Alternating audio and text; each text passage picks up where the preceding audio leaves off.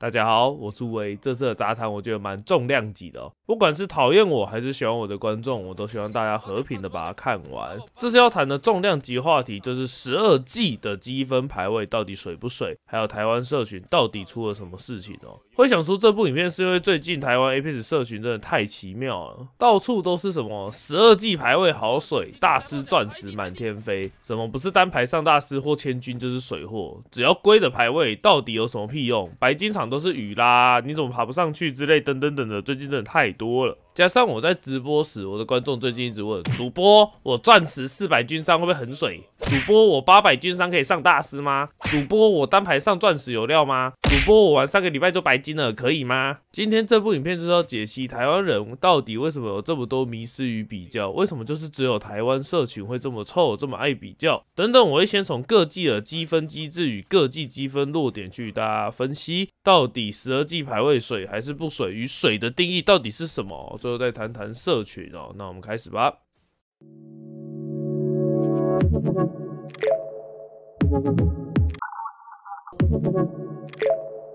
Thank you.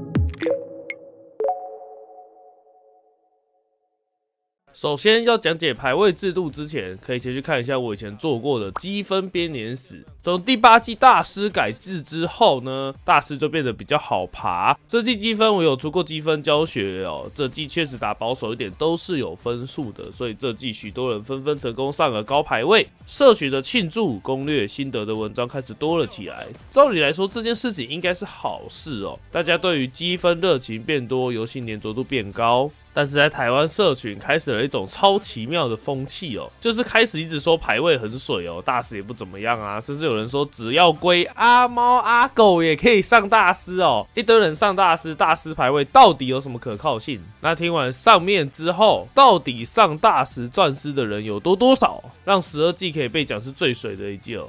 这边我们先从积分排位人数分布数据来开始。以高端来说，钻石在二到八季左右时，一直维持在十趴以下。大师顶列人数都在零点三趴，就算改制了，也只有零点四。那接着我们来看一下改人头分与排名分及争议最大的这两季：十一、十二季。首先，十一季的钻石玩家约有十二趴，大师约有两趴。十二季的话，目前钻石为十趴，大师为二点三趴。所以从数据图来看，钻石大师的人数确实变多了。二到八季的钻石人数总和约四趴，大师顶列零点四趴。那这几季因为九十没有数据，所以我们用十一、十二去算，钻石约为十二趴，大师两趴多。以上就是排位人数的分布数据。看完数据分布，我们就开始今天的主题：十二季排位到底水不水？首先，我自己觉得高排位人数变多的原因有三点。第一，就是基底玩家变多了。我自己做频道是感觉第九季开始新玩家变得超多，所以新玩家变多，本来耕耘的老玩家排位变高很正常。第二就是时间，时间长，大家观念配备都变强了，因为可以接触的资讯越来越多，这点其实我是非常感动的哦。我自己是一个做教学频道的人，看到大家都开始变强，开始对观念有进步，对配备有认识，真的是觉得自己做的事情是有意义的。第三就是官方对于积分的平衡哦，首先就是第八季钻场的出现，以及十一季的人头季、十二季保守季，变成你只要掌握当季改版的密码，你就能上分。以上这三。点是我认为正当性的排位人数增长。那讲到这边，我都说有正当性哦，那一定有不正当性。大家都知道，这游戏的外挂代打小账非常猖獗，我自己私下就已经抓好几个了。那不正当性就是所谓的代打。以这季大师目前人数为一万三千人左右来说，我敢说至少三到五成都是代打或是小仗。我自己内线消息啊，大师排位的人通常都会打二到三只大师。那我们来算一下，十只大师，一人三只，就三十只哦。这边还只是大师哦，钻石更多哦。所以在代打小号风气盛行的状况哦。去计较所谓的排位人数真的有意义吗？当然，一定有人变强上去，一定有，而且不少，恭喜他们。上面讲解完人数变多的原因，大家是否有改观呢？如果没有，那我们继续。首先，我们先不要在意高排位人数，我们先来探讨何谓水，什么是水哦。我拿我自己当比喻，我是一个算是没天分，但是真的很努力练习的玩家哦。在旧制打过转一，其余都是大师，基本上都是百场内爬完，均伤都有七百到九百左右。但我依然常常被攻击水大师啊，无尾就是水，他就是靠队友。那最近还有更屌，你不是单排，所以是烂货。我自认没很强，但是这个排位我拿的不虚哦。看过我直播爬分的观众就知道，我不怕技术被质疑，打错也会承认，也可以与观众讨论，但依然还是被标榜水货。所以我有时候不知道。到水这个词到底是在讲实力，还是就只是单纯在攻击呢？那谈回正题，我在群组上面最常看到的名词就是水大师、水钻石。我看了一下，大家通常都是用军商去区分，然后是 KD 就是场次，但不觉得这样其实有点好笑吗？先从 Apex 的积分制说起哦。其实大逃杀有积分本来就蛮怪的，那有也是好事，大家可以对游戏更粘着。但是我们要先知道一件很重要的事情：Apex 积分非传统统。积分制，什么是传统积分制？就像是 low。特战 R 六炉石 CS 赢就是赢，输就是输哦，输与赢一线之隔。广义的积分胜利，我想就是积分的排位分数增加，不管是哪个游戏，应该都是这样。但是 Apex 积分不是，Apex 积分是一个有多赢家的机制，一场可以有好几个赢家，甚至六十人如果不要开枪，大家合作组队就可以有六十个赢家。所以 Apex 的非输即赢的状况较少，只要你在游戏规则内玩。玩就可以加分上高排位。上面讲了这么多哦，Apex 的均伤与打法真的有这么重要吗？大家在一场大逃杀中能上分，不就是一种获胜的表现吗？所以排位到底有没有水？定义是什么？破千军就是不水吗？百场大师就是不水吗？上钻石军三百是水吗？到底什么是水？不用开挂带打上去的排位，为何可以被说水？不知道大家有没有仔细想过这一点？当你用正常游戏途径到达高排位，但是被攻击水，为什么？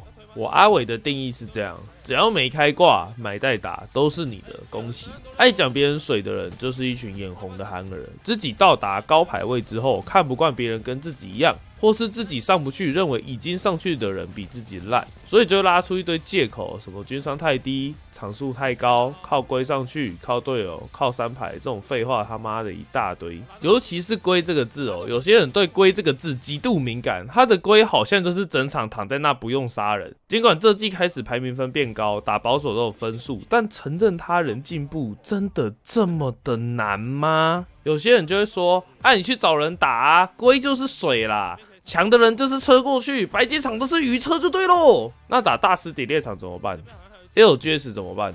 怎么没人去纠正？倒是一堆人只敢在普通玩家的排位心得文嘴炮，为什么？因为酸民只会欺善怕恶，对比自己强的人就乖得像条狗一样啊！哦，这些是我的想法啦。大家如果对水有自己的一套见解哦，留言区见。那我们探讨完积分数据与水的定义之后，最后来讲一下台湾社群最近出了什么状况。我是觉得台湾社群缺少了真正的理性讨论哦。最近打开每天都可以看到这季排位很水，什么大师已经太多了，白金场就是车都是雨，再就是大家比较来比较去哦。那你们也知道，人在嘴炮上是不能输点。作为扭曲了爬分的本意哦，爬分本是证明自己的方式，但是变相哦变成压制别人的工具哦。不管是巴哈官群讨论事情，只要起口角就开始人权图大战哦。那有些比较好的会自己加强自己哦，我欣赏这种遇强则强的人，但有些都是买代打，就是为了赢下那毫无意义的网络争论哦。这时候一定会有人说，我们讨论别人关你屁事，不操你阿伟，妈不强他妈废话又多。说真的，到底是讨论还是贬低，正常人应该心里都有数哦。建议大家看看国外的英文论坛，像是 Reddit 或是国外的 FB 社团，日文的也可以看看推特哦。这边我贴几张图，不多说，自己去看。看一下台湾讨论区跟别人讨论区有差多少哦。台湾的讨论区每天除了在讨论一些有的没的之外，不然就是在反串钓鱼。所以这就是为什么人家 E A 根本就不想把我们的讨论区当做一回事，人家在乎的是推特跟 Reddit。我觉得这一点是我们台湾人真的是需要自己去检讨的一个部分。最后真心跟大家建议哦，游戏排位只是人生过客，开心就好了。我相信多数九十九趴的人不是靠 Apex 赚钱，也不要因为别人过度比较而让你没有信心。像是来我台问的观众，多数应该都是被喷的，缺乏信心。再讲一次，你只要没开挂、没代打，能上大师钻石，你就是高排位，你就是这游戏的前段班。一百个人里面，钻石也才十个，大师两个，这样的战绩也很棒了。那最后我知道这边肯定会吵啦，那大家要记得留口德哦。我是吴伟，感谢大家的观看，我们下次见。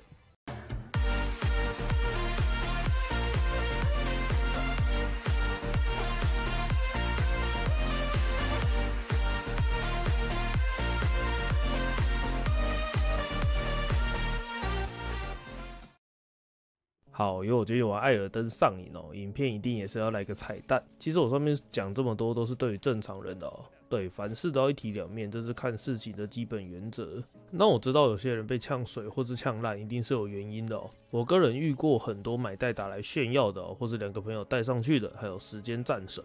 我个人觉得炫耀是人之常情。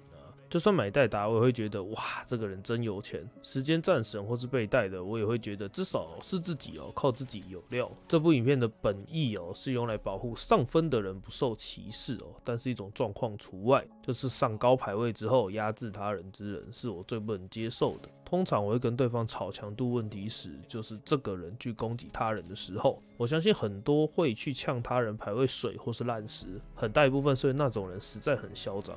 那大家遇到的话，不要嘴炮去降低格调，会让社群变相臭掉。反正有没有实力，大家都自己知道，多嘴多臭而已。所以本部影片并不是一部圣母杂谈，跟大家一样讨厌那些用排位去嘴炮他人的人。